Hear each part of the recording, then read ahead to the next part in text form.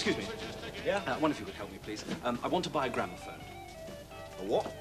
A gramophone. Gramophone. a gramophone.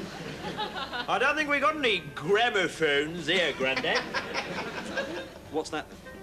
That's a three-hour automatic cut direct drive turntable, unless I'm very much mistaken.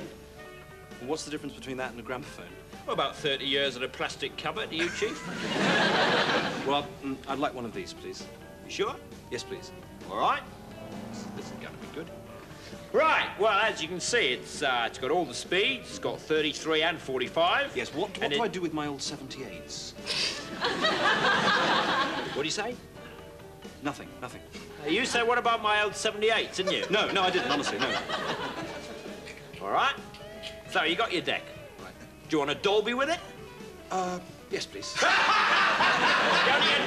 You only get tape recorders, Chief, all right? Do you want an amp? Uh, no, I won't. You won't hear anything, Grandad, without an amp, I'm afraid. Oh, so, of course, I, yes, I want an amp. You want Yes, an an amp. Yes, All right. What sort of output are you looking for? What sort have you got? Ah, No, no clues. About medium? How many watts exactly? Oh, I should think about, um, about three. no, two, two thousand. Five hundred. Thirty. 30. Thirty. 30. So you know all about it now, then, do you? You want a 30 watt amp? A thirty watt amp. Do you want speakers?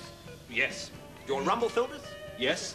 Do you want a bag on your head? Yes. There we are, a bag on So you got your deck, you got your amp, you got your rumble filters, and of course, you got your bag on your head.